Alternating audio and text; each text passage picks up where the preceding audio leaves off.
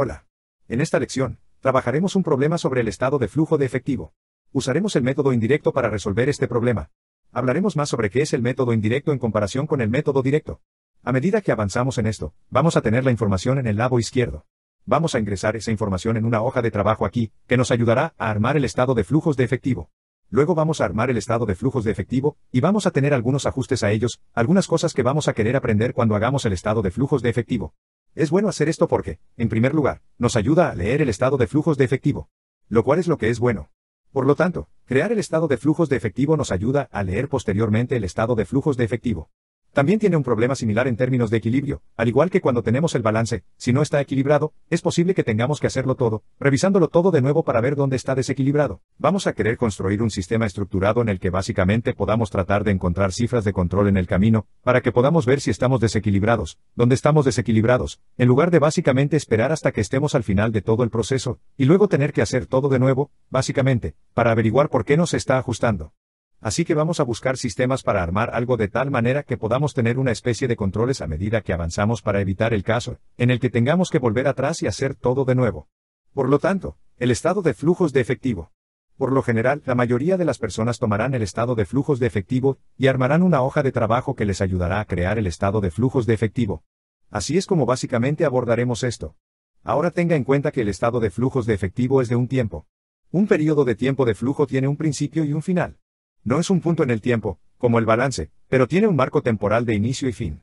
Y, por supuesto, estamos midiendo el flujo de efectivo, cuánto efectivo entró, cuánto efectivo salió, a lo largo de un cierto periodo de tiempo, generalmente un mes o un año o algo así. Y lo curioso es que a menudo lo medimos utilizando básicamente el balance, y ese balance es, por supuesto, un momento dado.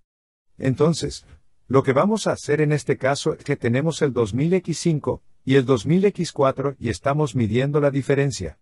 Básicamente, lo que va a suceder entre ese periodo de tiempo, es decir, estamos midiendo al final del estado será a partir del final de 2000X5 o midiendo el periodo terminado en 2000X5, y vamos a ver el periodo de inicio, que es el final del último estado financiero.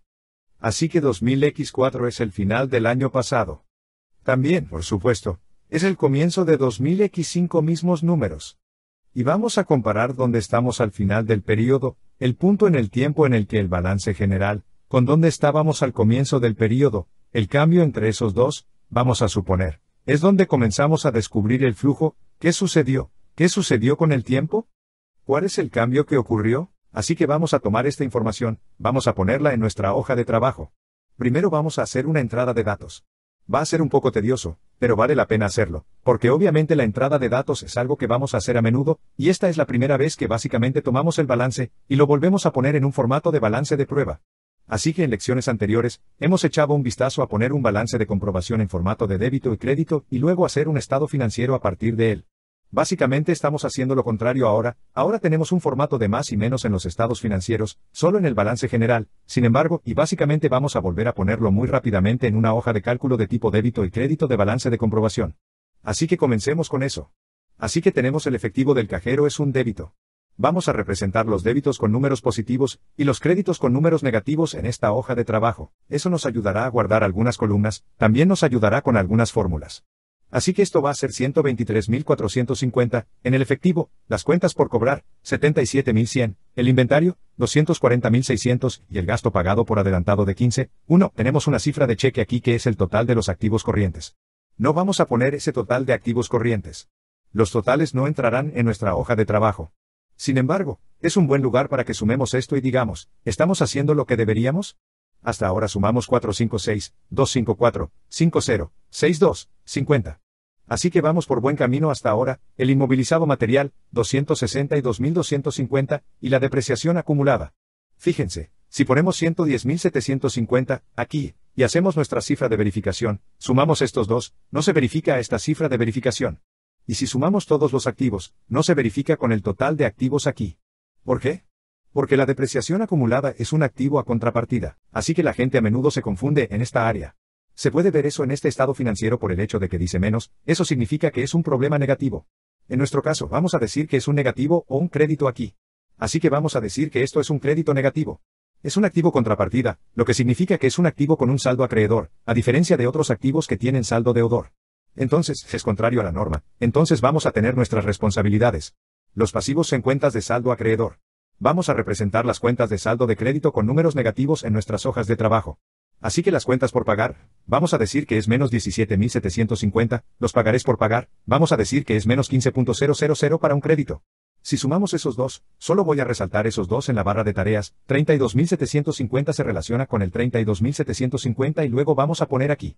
Vamos a continuar hasta los 100.000 y luego tenemos los pasivos totales, que son, por supuesto, las cuentas por pagar aquí. 132, 750 podemos usar nuestra cifra de verificación 132, 750 parece correcta. Vamos a pasar a la equidad.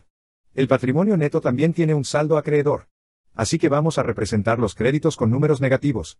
En este caso, vamos a decir menos 215.000, y adicional pagado en capital, menos 30.000 y luego las ganancias retenidas menos 230 y eso debería llevarnos en balance, lo que significa que los débitos menos los créditos son iguales a cero. Tenga en cuenta que eso tiene que funcionar. Los débitos menos los créditos deben ser iguales a cero. Si no es así, entonces lo que sucede es que probablemente tengamos el letrero yendo en sentido contrario en uno de estos, y todo lo que tenemos que hacer es revisar nuestras cifras de verificación, y ver que cada pieza se relaciona con los subtotales aquí. Y si lo hacen, entonces funcionará. ¿De acuerdo? Así que vamos a tomar los 2,000x para que haga esto una vez más. Sé que es tedioso, pero voy a hacerlo bastante rápido, y vamos a pasar esto aquí. Así que obtuvimos el efectivo 61.550 y luego el 80.750 millones 250.700, o prepagado fue a mis ceros, 250.700, gastos prepagados. 1700. Compruebe los subtotales. Vamos a destacar esos 144, 10, 410. Luego vamos a hacer la siembra de la propiedad, el equipo, 200.000 para el equipo menos, es decir, contra el saldo acreedor negativo de los activos. 95.000 por depreciación acumulada. Podemos verificar el subtotal de 105.105 o todos los activos, activos totales, 515, 515, que se ven bien hasta ahora, bajando a las cuentas por pagar. Las cuentas por pagar tenemos menos 102, tenemos la deuda a corto plazo, 10.000 créditos. Tenemos un subtotal. Podemos destacar esos dos, 112, 112, así que nos vemos bien. Vamos a bajar a la siguiente palabra, largo plazo, 775 negativos y una vez más, activos totales, pasivos totales. Podemos destacar los tres pasivos. La barra de tareas se suma. 189, 5. Se ve bien hasta ahora, bajando a las acciones ordinarias. Es acciones ordinarias, saldo acreedor negativo, 200.000 que tenemos adicionales pagados en capital, 0 utilidades retenidas, negativo, 125.500. Esto debería ponernos en equilibrio así. Así que lo hace si tenemos nuestro cheque, imagina que tiene que funcionar. Ahora, la idea aquí va a ser que si tenemos algo que está en saldo, indicado por los montos de débito de los créditos igual a cero, y si tenemos algo más que está en equilibrio, entonces podemos tomar la diferencia entre todas estas cuentas y terminaremos con algo que también estará en equilibrio. Así que vamos a hacer un problema de resta aquí, y vamos a tomar la diferencia que cambia de 2000x5 a 2000x4, por lo que la fórmula va a ser igual a 2000x5 menos 2000x4 igual a 2000x5 menos 2000x4 igual a 2000x5 menos 2000x4 igual a 2000x5 menos 2000x4 y podrías estar diciendo, hay una manera más fácil de hacer esto, y la hay, y podemos usar el autocompletar para continuar con esta fórmula. Así que voy a hacer eso en este momento. Obviamente la fórmula será la misma es una fórmula relacional. Por lo tanto, podemos usar el relleno automático colocando el cursor en el controlador de relleno, para que se vea así, manteniendo presionado el clic izquierdo y arrastrando hacia abajo. Auto lo seca. El Dr. Fell calcula, ahí está. Obtenemos el subtotal cero aquí abajo. Ahora, obviamente, si queremos ver lo que está pasando, podemos hacer doble clic en cualquier celda, y sigue siendo lo mismo que está pasando. Entonces, si tomamos la diferencia de cada uno de estos elementos, entonces debe sumar cero. Ese cambio debe sumar cero. Así que ahora que tenemos esta pequeña hoja de trabajo aquí, lo que vamos a hacer es tomar esa hoja de trabajo, y ponerla en el formato de un estado de flujos de efectivo. ¿Cómo es un estado de flujos de efectivo? Va a tener tres partes. Va a tener flujos de efectivo de las operaciones, y esa va a ser el área en la que más se relaciona con la cuestión de si tenemos un método directo o indirecto. Así que vamos a usar un método indirecto. Y la idea aquí es que si miramos el estado de resultados, es sobre una base de devengo. Así que, Pensamos en la cuenta de resultados, en la cantidad de ingresos y gastos que tenemos. Así es como lo hicimos a lo largo del tiempo, pero es sobre una base de devengo, y queremos ver cuáles son los flujos en términos de efectivo. Por lo tanto, podríamos tomar el estado de resultados y cambiar el nombre de todo, lo que significa que podríamos cambiar el nombre de la cuenta de ventas o la cuenta de ingresos para que sea efectivo recibido de los clientes, y cambiar el nombre de la cuenta de gastos para que se pague en efectivo. Pero eso podría llevar más trabajo en algunos casos, si ya lo tenemos que sería el método directo. Por cierto, si ya tenemos el número de ingresos netos, podría ser más fácil para nosotros tomar ese número de saldo final que ya hemos calculado en el estado de resultados, y luego retirar las cosas que no son efectivo. Y ese va a ser el método indirecto. El método indirecto es, con mucho, el método más utilizado, y hay algunas razones para ello. 1. Podría ser un poco más fácil por las razones que acabamos de decir de que ya calculamos el ingreso neto. Y dos, muchas veces es necesario en muchos entornos diferentes. Así que muchas veces, si haces el método directo, todavía tienes que hacer el método indirecto. Personalmente, me gusta el método directo, porque creo que presenta la información de una manera que más personas entienden más fácilmente porque solo representa la información en términos de flujo de efectivo en un estado de resultados, pero el método indirecto es, con mucho, el más utilizado. Por lo tanto, vamos a echar un vistazo al método indirecto. Así que vamos a empezar con los ingresos netos, y luego respaldar todo a partir de ahí. En el método indirecto, también tenemos, sin embargo, flujos de efectivo que no están en la cuenta de resultados. No son básicamente cosas del tipo estado de resultados. Son cosas que, como los flujos de efectivo de las actividades de inversión, entonces, si compramos un camión o un equipo grande, un edificio, entonces eso no estaría en el estado de resultados, aunque haya flujo de caja. Así que vamos a registrar el flujo de caja, pero vamos a ponerlo aquí en actividades de inversión, y luego tenemos el flujo de caja de las actividades de financiación. Y una vez más, esas van a ser cosas en las que entró y salió efectivo, pagamos, o recibimos préstamos o algo así, dividendos y demás, entrarán en esta sección. Ahora, la idea aquí va a ser que queremos encontrar un hogar para todos estos números. Una vez que encontremos un hogar para todos estos números, estaremos en equilibrio.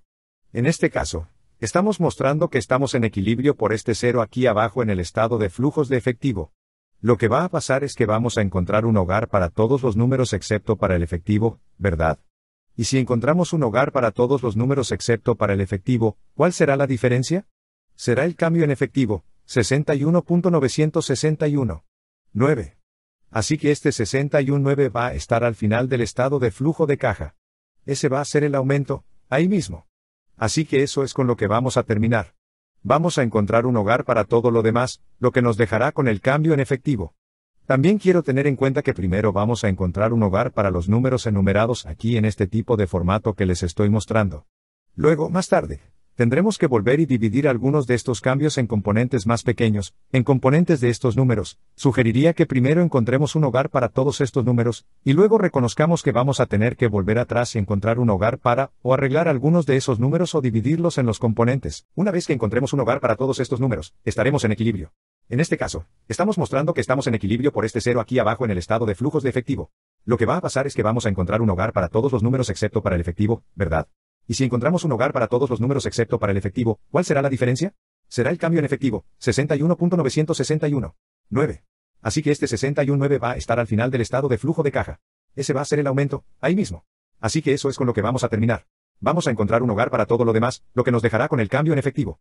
También quiero tener en cuenta que primero vamos la razón de esto es porque esto nos ayudará a estar básicamente en equilibrio, y luego hacer los cambios de tal manera que no podamos tener un problema y terminar una vez más, estando al final del proceso y sin saber dónde nos desequilibramos. Entonces, si encontramos un hogar para todos estos números antes de comenzar a dividirlos en un montón de números diferentes, entonces podemos decir, está bien, estamos en equilibrio. Ahora vamos a ajustar lo que hay que ajustar. Y si algo se sale de control, tenemos un sabemos dónde se salió de control, y eso es lo que hace el proceso de ajuste. Entonces, para hacer eso, básicamente vamos a revisar esta lista de cuentas, pero realmente vamos a comenzar con los ingresos netos, porque ese va a ser el comienzo de los flujos de efectivo de las operaciones. Y de nuevo, la mayoría de ustedes van a estar realmente tentados. Por lo tanto, el cambio en las ganancias retenidas será, en parte, utilidad neta. Y eso se debe a que, básicamente, cerramos la utilidad neta con las ganancias retenidas en el proceso de cierre.